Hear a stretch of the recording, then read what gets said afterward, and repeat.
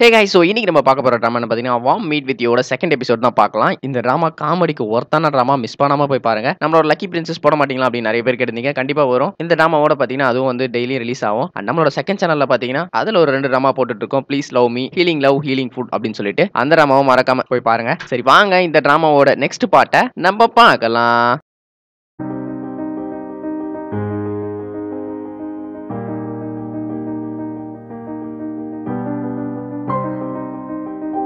Last பார்ட்ல பார்த்தீங்கன்னா நம்மளோட ஹீரோ வந்து ஹீரோயின் பிடிச்சி திட்டிருப்பார் இல்லையா? அதனால ஹீரோயின் பார்த்தீங்கன்னா அவன் தம்பி கால் பண்ணிட்டே அடியே உடன்பிறப்பே மரியாதை எங்க வாடா ஒருத்தனை போட்டு தள்ளணும் அப்படின்னு சொல்லிட்டு போன்ல வந்து கூப்பிடுறாங்க. அவனோட கையை காலை உடைக்கணும் அப்படின்னு இப்படின்னு சொல்லிட்டு இந்த பக்கம் ஹீரோ பார்த்தீங்கன்னா மேல ஒரு ப்ராஜெக்ட் விஷயமா போனார் இல்லையா? அது வந்து அவருக்கு சாட்டிஸ்ஃபேக்ஷனாக இருக்காரு வந்துட்டு இருப்பாரு. என்னாச்சு பாஸ் அப்படின்பது இல்ல எனக்கு அது பிடிக்கல. அவங்களுக்குள்ளே அவனுங்களே வந்து ப்ராஜெக்ட் வந்து டிசைட் பண்ணிக்கிறானுங்க. எனக்கு அது பிடிக்கல அப்படின்னு சொல்லிட்டு அவர் அஸ்டன் கிட்ட பேசிட்டு இந்த பக்கம் நடந்து வந்துட்டு இருப்பாரு. சரி ஓகே பாஸ் உங்களுக்கு தேவை நான் எடுத்து வைக்கிறேன்னு சொல்லிட்டு அவர் ஃபோன் பண்ணும்போது இந்த பக்கம் ஹீரோ பார்த்தீங்கன்னா அந்த கதவு வழியா வராரு. போனவனே யாரோ வந்து பாத்தீங்கன்னா அந்த டோரை லாக் பண்றாங்க. என்னடா ஆச்சு? அப்படின்னு சொல்லிட்டு ஹீரோ திரும்பி பார்த்தா இந்த பக்கம் நம்ம ஹீரோனி டே பயப்புள்ள நான் தான்டா அது. என்னைய பார்த்தா டேலண்ட் இல்ல ஒண்ணு இல்லைன்னு சொன்னேன். உனக்கு என்னடா தெரியும் என்னோட இது பத்தி? எனக்கு கார்ட்டூனிஸ்ட் எவ்வளவு வரைய தெரியுமா? என்ன ஓவரா பண்ற? ஹீரோக்கு பாத்தீங்கன்னா ஹீரோனி பார்த்து செமையா பயப்படுறாரு. ஏன்னா அவர் தான் வந்து எந்த பொண்ணு தொட்டாலும் அவருக்கு வந்து அலர்ஜி ஆடு இல்லையா? அதனால வந்து ரொம்ப பயப்படுறாரு. ஹீரோனிக்கு இவங்க நம்மள பார்த்து பயப்படுறான்? இவன் டம்மி பேச இல்ல நம்ம அவ்வளவு ஸ்ட்ராங் அப்படின்னு சொல்லிட்டு சரி பயப்படுறானே அப்படின்னு சொல்லிட்டு இது பாரு உன்னாலதான் அந்த இன்டர்வியூ நான் அட்டன் பண்ணல. இல்லனா ஒழுங்கா இன்டர்வியூ வந்து அட்டன் பண்ணிருப்பேன் ஒழுங்கா செலக்ட் ஆயிருப்பேன். இவரே திரும்ப இன்டர்வியூ கூப்பிடுவாராம் இவரே நான் வந்து ரிஜெக்ட் பண்ணுவாராம் அன்னைக்கு மட்டும் என்ன ஆக்சிடென்ட் பண்ணல நான் ஒழுங்கா வந்து இன்டர்வியூ அட்டன் பண்ணிருப்பேன் அப்படின்னு சொல்லிட்டு ஹீரோ ஹீரோனி பார்த்தீங்கன்னா ஒரு ஸ்டிக்கி நோட் எடுத்து நம்ம ஹீரோட மூஞ்சிலே பச்சக்குன்னு ஒரு அடி அடிக்கிறாங்க. அடிச்சுட்டு அதுலேயே பார்த்தீங்கன்னா அழகாக வந்து நாய் பொம்மை மாதிரி ஒரு போட்டு விட்டுட்டு போடா மண்டையா அப்படின்னு சொல்லிட்டு ஹீரோனி பார்த்தீங்கன்னா ஆ நாக்கு கட்ட அந்த இடத்துல இருந்து வந்துடுறாங்க. ஹீரோக்கு செம்ம ஷாக்கு ஆஹா இவன் நம்மளை தொட்டுட்டா நமக்கு எதனா ஆயிடுமோ நமக்கு என்ன ஆயிடுமோ அப்படின்னு சொல்லிட்டு அவர் வந்து பார்த்துட்டே இருக்கார். பட் ஆனால் அவருக்கு ஒன்றுமே ஆகல. அவரோட ஃப்ரெண்டு வந்து பார்க்குறாரு என்னடா எதனா ஆச்சு? அப்படின்னு போது இல்லை எனக்கு எதுவும் ஆகலடா அதுதான் அதிசயமா இருக்கு அப்படின்னு சொல்லிட்டு ஹீரோ வந்து ரொம்ப ஷாக்கிங்காக இருக்கு. எனக்கு எந்த பொண்ணு தொட்டாலும் நம்ம ஹீரோக்கு பார்த்தீங்கன்னா அலர்ஜி ஆகிடும் ரொம்ப ப்ராப்ளம் ஆகிடும் ஆனால் ஹீரோனி தொட்டு அவருக்கு ஒன்றுமே ஆகல. ஸோ அப்படியே சீனா கட் பண்ணா இந்த பக்கம் ஹீரோனி பார்த்தீங்கன்னா அவன் தம்பி போய் மீட் பண்ணுறாங்க என்ன ஆச்சு எதுக்கா கூப்பிட்டு போது அதுவா என்னைய ஒருத்தன் ஓவரா பேசினான்டா. அவனை போய் இப்பதான் ஒரு பாடம் கத்து கொடுத்துட்டு வந்துட்டேன் அப்படின்னு சொல்லிட்டு ஹீரோ வந்து பேசிருக்காங்க சரி ஓகே நீ எதுக்கடா இங்க வந்த அப்படின்னு சொல்லிட்டு ஹீரோனி கேக்குறாங்க நம்ம தம்பி வந்து இந்த மாதிரி இல்லக்கா அது வந்து நான் ஒழுங்கா சொல்றேன் அப்படின்னு சொல்லிட்டு காதை பூச்சி திருவ ஆ ஆக்சுவலாக வந்து எங்க கம்பெனி வந்து இங்க வச்சிருக்காங்க. அதனால தான் வந்திருக்கேன் போது அதுக்கு எதுக்கு நான் ஏன் ரூம்ல தங்கணும்னு நினைக்கிறேன் போது இல்லக்கா எனக்கு வந்து வேற இடம் இல்லை என்கிட்ட காசு இல்லைன்னு போது நீ தான் ஆன்லைன்ல வந்து ஏதோ பிசினஸ்லாம் பண்ணல. அந்த காசு என்ன பண்ணும் போது அதெல்லாம் எதுவும் பண்ணல நான் சும்மா ஏமாத்தணுவாங்க என் ரூம்லலாம் நீ தங்க முடியாதுன்னு அக்கா அக்கா ஓரமா ஒரு இடம் கொடுக்க நான் ஓரமா ஒரு இதுல மூலையில தங்கிக்கிறேன் அப்படின்ற மாதிரி அப்படின்னு அவன் தம்பி கேட்பான். சரி ஆனா என் ஃப்ரெண்டு இருக்கா ஹவுஸ் ஓனர் பார்த்தானா திட்டுவான இடம் போது ப்ளீஸ்கா ப்ளீஸ்கா ப்ளீஸ்கா ப்ளீஸ்கா போது சரி வந்து தொலை அப்படின்னு சொல்லிட்டு ஹீரோனி பார்த்தீங்கன்னா ஒத்துக்கிறாங்க. இந்த பக்கம் ஹீரோ பார்த்தீங்கன்னா செம்ம கான்ல வீட்டுக்குள்ள வராரு.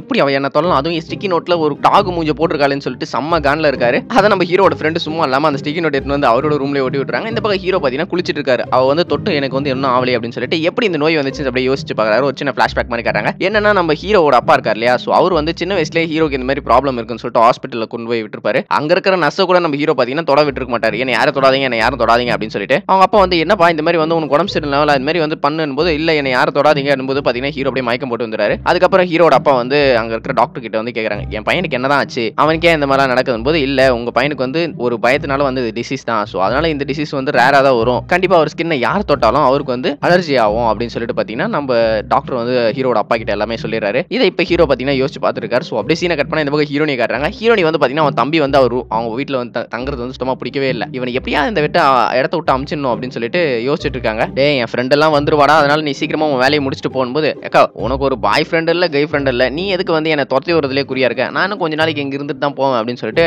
அவன் தம்பி பாத்தீங்கன்னா கொஞ்சம் இப்போ அதிகாரமா பேசுறான். டேய் கொஞ்ச நாள்ல போயிட்டு வந்தாண்டா சொன்னேன் அப்படின்போது அதெல்லாம் அப்படி சொல்றது தான் அவ்வளவுதான் நானும் கொஞ்ச நாள் இங்கதான் இருப்பேன் அப்படின்னு சொல்லிட்டு அவன் தம்பி சொல்ல. ஆ அப்படின்னு சொல்லிட்டு ஹீரோனி பார்த்தீங்கன்னா செம்ம டென்ஷன் வராங்க. அப்போ ஹீரோவோட ஞாபகம் அவங்களுக்கு வருது. ஏன்னா ஹீரோ வந்து இன்டர்வியூல இருந்து ரிஜெக்ட் பண்ணிருப்பார் இல்லையா? உனக்கு ஒண்ணுமே தெரியாது. கார்ட்டூன் வரைய தெரியாது. ஒன்று எக்ஸ்பீரியன்ஸ் இல்லை அப்படின்னு சொல்லிட்டு. ஆ இவனை ஏன் அப்படின்னு சொல்லிட்டு ஹீரோனி பார்த்தீங்கன்னா ஹீரோ மேலும் காண்டாவாங்க. ஸோ அப்படியே சீனை கட் பண்ணா அடுத்த நாள் மார்னிங் காட்டுறாங்க. அடுத்த நாள் மார்னிங் பார்த்தீங்கன்னா ஹீரோனி ப்ரெஷ்ஷை போட்டு போடுற டான்ஸை ஆடுற பாட்டுக்கு அப்படின்னு சொல்லிட்டு.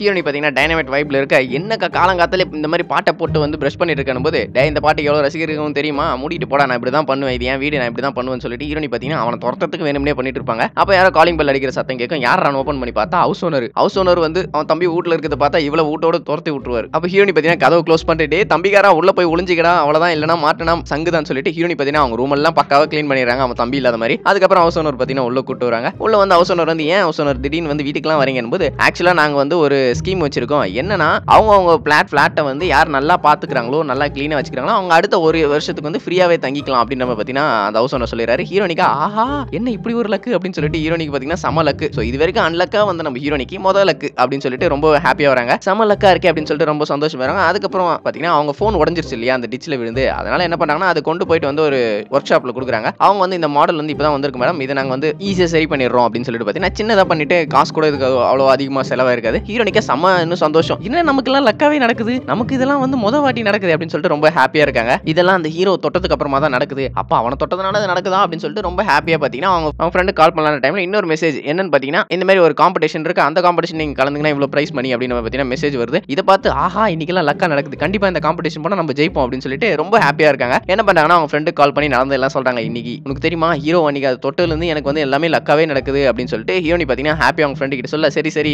பார்த்துக்கோ அப்படின்னு சொல்லிட்டு பார்த்தீங்கன்னா அவங்க ஃப்ரெண்டு வந்து சொல்கிறாங்க சரி போகும்போது என்ன வந்து பார்த்துட்டு வேணா போ அப்படின்னு சொல்லிட்டு ஹீரோனி ஃப்ரெண்டு வந்து சொல்ல ஹீரோனி சரி ஓகே வரேன் அப்படின்ற மாதிரி பார்த்தீங்கன்னா ஒத்துக்குறாங்க. இந்த பக்கம் பார்த்தீங்கன்னா ஹீரோட ஆஃபீஸில் இருக்காங்க. அங்கே வந்து ஒருத்தர் கேபின்ல இருக்கும்போது ஒரு கால் வருது. இந்த மாதிரி ஹீரோட ரூமை க்ளீன் பண்ணி வச்சிட்டிங்களா? ஹீரோ வந்து ஆஃபீஸ் வந்துட்டு இருக்காரு அப்படின்னு அந்த மேனேஜரும் பார்த்தீங்கன்னா நம்ம ஹீரோனியோட ஃப்ரெண்டை கூப்பிடுவாங்க. ஃப்ரெண்ட் கூப்பிட்டு உன்னை நான் க்ளீன் பண்ண சொல்லியிருந்தேன். அந்த க்ளீன் பண்ணிட்டியா ஹீரோட ரூம் போது அவங்க மறந்துட்டு இருப்பாங்க. ஆஹா நான் வேற மறந்துட்டேனே சார் அப்படின்னு போது ஏன் இந்த மாதிரி மறந்துட்டேன் ஹீரோ வந்தாருன்னா அவ்வளோதான் உனக்கு வேலையை விட்டே தூக்கிடுவாரு. உனக்கு அவ்வளவுதான் சம்பளமே வராது அப்படின்னு போது சரி இப்போ என்ன பண்றது போது சரி ஓகே அந்த ஃபோன் நம்பர் எடு. நான் உனக்கு ஒரு க்ளீன் பண்ற ஆளுங்களோட நம்பர் கொடுத்தேன் போது இல்ல சார் அந்த நம்பர் நான் மிஸ் பண்ணிட்டேன் போது மிஸ் பண்ணிட்டியா? இப்போ என்ன பண்ண போற? ஹீரோட ரூம் யார் க்ளீன் பண்ணுவான்? அப்படின்னு சொல்லிட்டு பாத்தீங்கன்னா மேனேஜர் கத்த ஹீரோனி ஃப்ரெண்டுக்கு ஆ என்னடா பண்றது? அப்படின்னு சொல்லிட்டு செம்ம ஷாக்கிங்ல இருப்பாங்க. அப்போ கரெக்டா அந்த டைம்ல தான் பாத்தீங்கன்னா ஹீரோனி வந்து கால் பண்ணுவாங்க. ஆஹா கும்பிட போனதும் குறுக்கம் வந்துச்சு அப்படின்னு சொல்லிட்டு ஹீரோனி நேராக போய் ஹீரோ ஃப்ரெண்டு வந்து மீட் பண்ணுறா ப்ளீஸ் ப்ளீஸ் ப்ளீஸ் எனக்கு ஒரு ஹெல்ப் பண்ணிடி இந்த மாதிரி சியோட ரூம் வந்து க்ளீன் பண்ணணும் அப்படின்னு க்ளீன் பண்ணணுமா? வேற எவன் ரூம் இருந்தாலும் நான் க்ளீன் பண்ணிருப்பேன். சத்தியமா உன் ஆளோட ரூம் வந்து நான் க்ளீன் பண்ணவே மாட்டேன். அவன் என்ன எவ்வளோ டிஸ்டர்ப் பண்ணா? என்ன என்னென்னலாம் சொன்னான் எனக்கு சத்தியமா முடியாது அப்படின்னு சொல்லிட்டு ஹீரோனி போயிடுவாங்க. ஏ உனக்கோசம் இல்லைனா எனக்கு கோசம் பண்ணிடி. ப்ளீஸ் டி ப்ளீஸ் டி ப்ளீஸ்னு சொல்லிட்டு நம்ம ஹீரோனியோட ஃப்ரெண்டை பார்த்தீங்கன்னா காலே விழுந்து விட்டான் ஐயா அப்படின்னு சொல்லிட்டு காலை பிடிச்சிக்கினே ப்ளீஸ் டி இல்லைனா வேலை போயிடுவேன் வேலை போயிடுவேன் வேலை போய்டு ப்ளீஸ் ப்ளீஸ் அப்படின்னுவாங்க ஹீரோனி சரி ஓகே உனக்கோசம் பண்ணுறேன் அப்படின்னு சொல்லிட்டு பார்த்தீங்கன்னா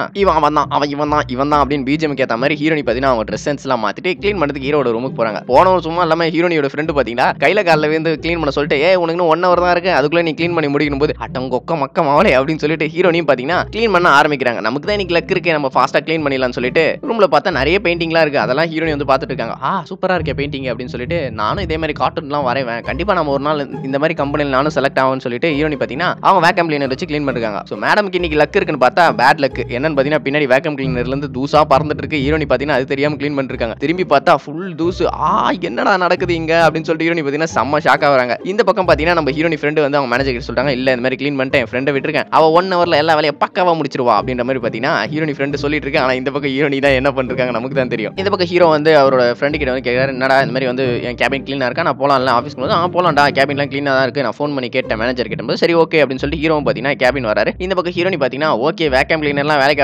சொல்லிட்டு கையிலே பார்த்தீங்கன்னா மொத்தத்தையும் அவங்க க்ளீன் பண்ணிடுறாங்க. க்ளீன் பண்ணிட்டு வெளியே போகலான்ற டைமில் பார்த்தீங்கன்னா கரெக்டாக ஹீரோ உள்ள வராரு. ஆஹா இவனா? அப்படின்னு சொல்லிட்டு பார்த்தீங்கன்னா குடு குடுன்னு அவங்க அந்த இடத்துல போங்க அப்போ அவங்க தலையிலேருந்து லைட்டாக ஒரே ஒரு தூசு மட்டும் கீழே விழுந்துரும். ஒரு டேபிள் கடையில் ஹீரோனி பார்த்தீங்கன்னா ஒழிஞ்சிக்கிறாங்க அப்போ நம்ம ஹீரோ பார்த்தீங்கன்னா அங்கே வராரு. வந்து பார்த்தா அந்த ஒரே ஒரு தூசை மட்டும் அவர் கண்ணுக்கு படும் போல. அதை எடுத்து இங்கே பார்த்துட்டு ஹீரோ பார்த்தீங்கன்னா டஸ்ட்பினில் போட்டுறாரு. அந்த ஒரு தூசு கையில் ஒரு கடுக்கு பட்டுச்சான் அதெல்லாம் வந்து சானிடைசர் பண்ணி க்ளீன் பண்ணிட்டு இருக்காரு. ஹீரோனி அந்த டேபிள் கீழே தான் ஒழிஞ்சிட்டு இருக்காங்களே. அவங்க அப்படியே நம்ம ஹீரோ பார்க்குறாங்க. அந்த கண்ணாடி போட்டு பார்த்தா ஹீரோ மேலே வந்து அந்த கோல்டன் பார்க் மட்டும் வந்துட்டே இருக்கு. ஆ இதனால தான் நமக்கு வந்து லக்குலாம் வந்துச்சு. அதனால திரும்பவும் நம்ம ஹீரோ தொட்டா நமக்கு லக்கு திரும்ப வரும் அப்படின்னு சொல்லிட்டு நம்ம ஹீரோ வந்து தொடலான்னு போவாங்க. அப்போ அந்த இடத்துல பார்த்தீங்கன்னா ஹீரோனியோட தம்பியோட வாய்ஸ் கேட்கும் இந்த பையன் உள்ள வாய்ஸ் இங்க ஏன் கேக்குது அப்படின்னு சொல்லிட்டு இப்படி எட்டி பார்த்தா நம்ம ஹீரோயினோட தம்பி. இவன் என்ன இங்க பண்றான் போது பார்த்தீங்கன்னா அவன் வந்து நம்ம ஹீரோ கிட்ட பேசிட்டு இருப்பான். ஸோ இவங்க ரெண்டு பேரும் வந்து பார்த்தீங்கன்னா ஏதோ ஃப்ரெண்ட்ஸ் போல அந்த மாதிரி தான் வந்து பார்த்தீங்கன்னா பேசிட்டு இருக்காங்க. இந்த மாதிரி வந்து ஜாப் நான் இங்கே வந்து உன்னை வர சொன்னது எதுக்கு தான் அப்படின்னு சொல்லிட்டு ஹீரோ வந்து பார்த்தீங்கன்னா அவனுக்கு அந்த இடத்துல ஜாப் கொடுக்கறத பற்றி வந்து அவன் தம்பி கிட்ட பேசியிருப்பான் தம்பியும் வந்து பார்த்தீங்கன்னா அது மாதிரி பேசிட்டு போது அவன் வந்து ஹீரோனை பார்த்துறான் ஹீரோயின் வந்து பாக்குறத வந்து தம்பி வந்து பார்த்துறான் பார்த்துட்டு இவன் என்ன இங்கே பண்ணுறா சரி ஓகே நம்ம எதுவும் சொல்ல வேணாம். அவன் இங்கே இருக்கட்டும் அப்படின்னு சொல்லிட்டு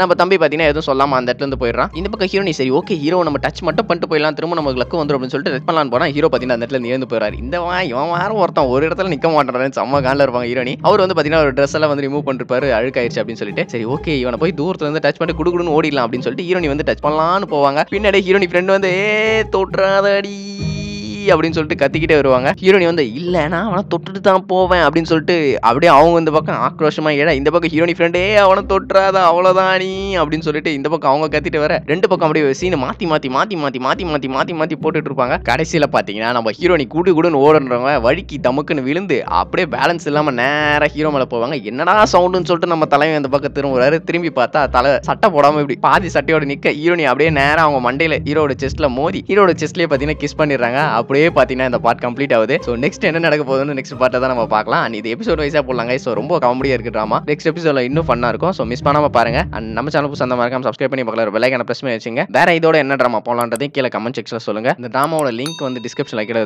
இந்த ட்ராமாவோட நேம் நிறைய பேர் கமெண்ட்ல கேட்டிருந்தீங்க. வாம் மீட் வியூ அப்படின்னு சொல்லிட்டு. So lots of love guys and bye thanks for support bye